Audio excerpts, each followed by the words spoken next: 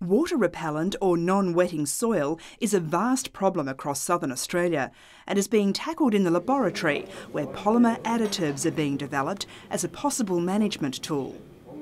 So this is our problem, these very sandy soils that run all the way from Esperance right up through to Geraldton. Water repellency increases water runoff, leads to poor crop establishment and adds to the risk of wind erosion. Here at UWA, the research is focusing on sandy soils with a clay content of less than 5%, the most susceptible to water repellency. And in southern Australia, that represents around 5 million hectares. In terms of cost to growers, it's worth millions of dollars. Let's put it into the context of lost production. Any water that isn't converted into plant growth, whether it be grain production or pastoral production for animals, is a loss to their system. Mouldboard ploughing and other soil inversion practices can bury water repellent or hydrophobic material and bring clay to the surface. But GRDC, along with CRC for Polymers, is funding research into a chemical approach, developing polymer additives with possible worldwide benefits. We believe that it has a broad um, application to areas where, for example, mechanical disturbance isn't possible or where farmers aren't, aren't using that sort of an approach. So we're test bedding it in Western Australia and in Southern Australia, but we're thinking globally in terms of trying to solve this problem. And this is how it looks under extreme magnification.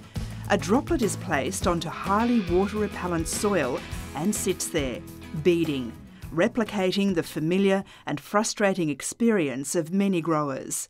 But add droplets containing the agent and the soil soaks them up instantly.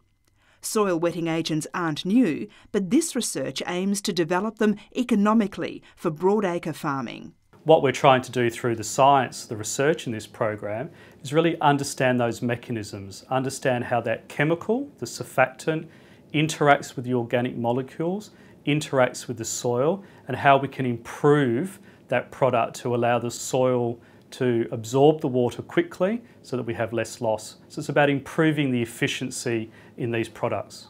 The project's 18 months into five years of research, and it's a combined effort involving UWA, the CSIRO, University of New England, and Swinburne University of Technology. You have polymer chemists developing new molecules, you have soil physicists looking at how the polymers react with the soil structure.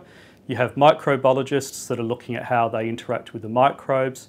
You have plant experts looking at how they interact with the plant roots. Ultimately, the aim is a cost effective and efficient product, fit for purpose in Australia and potentially the world. So, in terms of what I think is new about this, is that we're really focusing on formulating products for broadacre, firstly and we're looking at understanding the mechanism behind why they actually work, and that means that we can better tailor products to specific soil environments.